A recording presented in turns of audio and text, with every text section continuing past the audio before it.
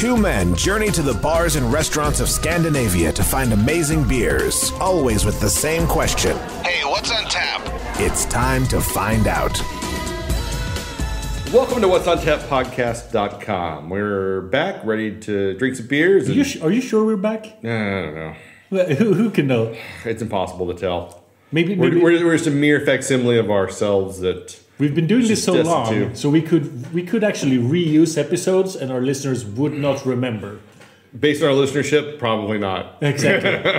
I mean, who, who would know? Like Björn, uh, friend of the show, he would know. He has actually listened to every single episode. It's called a super fan. That is a super. He's been on the show many times as well. That is we, we need to we need we need to do another game beer soon. Yeah.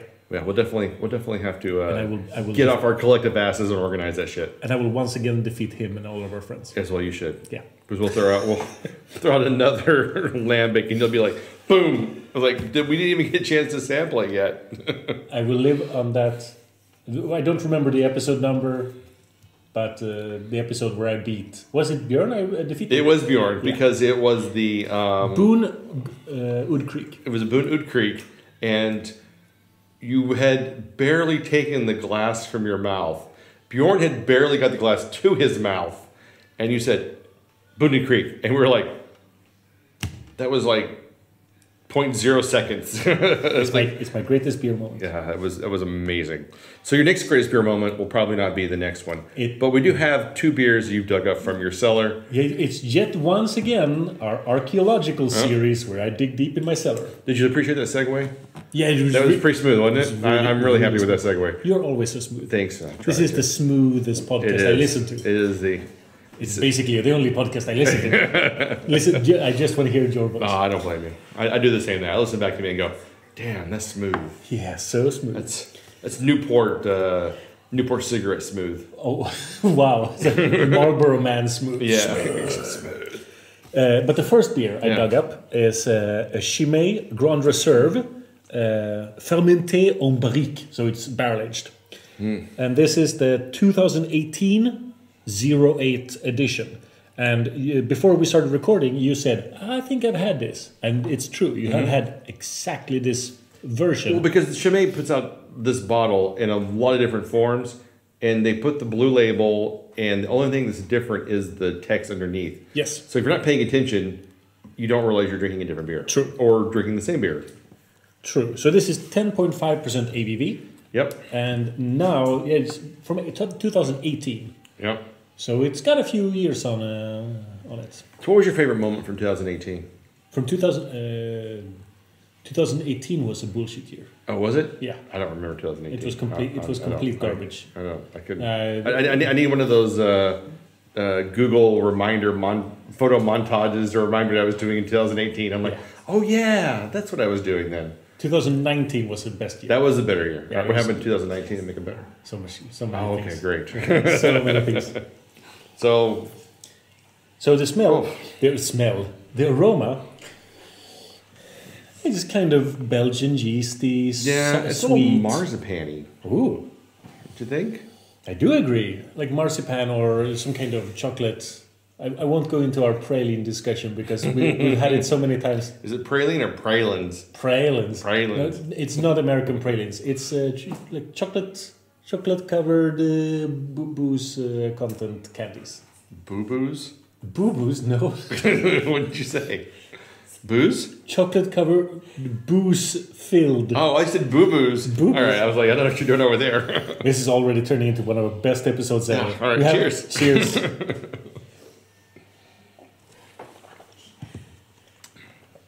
wow, that's um, literally nothing. This is the antithesis of drinks. Sugar water. it's very sweet. It's it's sweet-ish. But it has this like Belgian. I don't know Sugar if this. water I flavor? don't, I don't know if this uh, is a Belgian double according to like style guidelines. It could be actually. Belgian doubles has this. Yeah, it's kind of sweet, little bit of malty, but very Belgian yeast type. There's kind of boring actually. almost no flavor. Yeah. It's despite the carbonation, which is oddly lively, it's extremely flat tasting in the mouth. Yeah. Feel uh, it's really thin. it's very. I would say one note, but that would be giving it credit. Um, I really find that this is just almost like a beer that doesn't exist. But it's 10.5% ABV. I mean, yeah, it, it'll it'll make you think it exists. And It'll- when you drink the whole thing, you're going to be like, "Wow, that was." I'm definitely feeling this this beer, but at the same time, it'll be like, I feel like I just had a weird glass of water. Yeah. Like maybe I need to look at the uh, filtering my water better because there's some Or someone put some some, weird minerals or something in there. Yeah, someone put something in your drink. exactly. Uh, That's, but this that's is not a good flavor. this is a this beer doesn't exist. It is a non-existent beer with non-existent flavors. So we haven't revealed to the listeners what we historically gave this. Oh yeah, historically I gave it what a three seven five. Yeah. Yeah. And I gave it a four, but Okay. it- it's not that today. It is definitely not that today. Um, this gets a. I'll give it a one, and I feel like I'm being What? generous. A one. A one That that is that is surprisingly low. because it's not a beer. There's no flavor. There's no. There's nothing about this beer that makes it drinkable or memorable or if you. This is one of those things where like, I just want to get drunk. I can drink this. I can drink it fast. I'm gonna like hit my uh, saturation point, but it is it is not a it's not a beer. Wow. I'll give it a two seventy five. Oh, look at you being generous. Very generous, but I, I still get these like Belgian-y uh, No, double uh, type of flavors. You need to you need to stay off the sauce. Have you gotten Corona? Maybe You maybe need- that's what it is. You it's need just to Corona. If you can't taste anything, you need to tell me I'm a before we. I've got a super Corona I- issue here. oh, super Corona. Yeah. Wow. Yeah. It's like uh, Pokemon with diseases. You gotta catch You them gotta all. catch them all. Yes, Syphilis, yes, yes. check. Like yeah, you got them all. Yes. Sure. Are we talking about my penis again? I mean, I think sometimes I feel like this show is all about your penis and nothing else. It is. It actually it's uh what's on tap. It's my penis. Oh no. You can pull the handle all you want. yeah, you, I just pull and pull and nothing happens. Well, eventually something happens. Yeah. Uh, the next beer right. that I dug up is uh, from Cascade Brewing. We've had Cascade on the show before. Yes. They usually make sours that are mouth puckeringly, brain meltingly sour. But this is from 2016. So how will the age affect these beers? I don't think we've ever had an old Cascade. We've had new ones. Yes. But this is the Black Cap Raspberry Northwest Sour Ale, ale aged in oak barrels with raspberries. Yeah. And the ABV is 7.7, and it's a big bottle, so uh, we got a lot to ahead of us. Well, the Cascade only did 750 milliliter bottles when they released it Right. in Europe for the longest time. I think now you can get uh, 375 or maybe even Can, cans. yeah, we, we've had a can at least. Yeah, but uh, for me, I remember getting the Cascade Blueberry for the first time and like, oh my god, this just came out and it was like 30 Danish a bottle or 300 Danish a bottle. 300 Danish, 300. Danish a bottle. 30 Thir- Danish, thir- 30 would have been like a real, Buy- a real because all I- of them. Because I was, I was mixing uh, Danish with American standards. So about $30 a bottle. And I was like, oh, this is so expensive. I really, you know, treating myself here. And I got it. I was like, this is the dustiest freaking blueberry drink I've ever, or beer I've ever had in my life. And ever since then, Cascade for me is just like, somehow even their new stuff just tastes like it's been sitting on a shelf for 10 years and tasting super dusty. so I'm, I've really fallen off the Cascade train. So I'm very curious how something well. that's been aged will, will affect this beer. So, raspberries. Oh, it was super it- raspberry, great carbonation. So It almost smells like grapes, like like it's a grape sour. yeah. All right. Well, cheers. Let's try it. Cheers.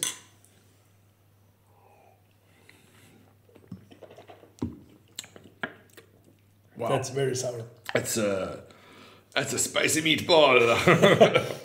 What what do you always say? Astringent? astringent. That is astringent. Oh, It immediately makes me salivate. Like yeah. It's so dry and so tart and sour and almost cranberry level, like yeah. uh, levels of sour. Past raspberry to cranberry to straight cranberry juice level of sour. Wow. It's it, it, this one is more like you say cranberry or currants, Mm-hmm. red or black, whatever. Yeah.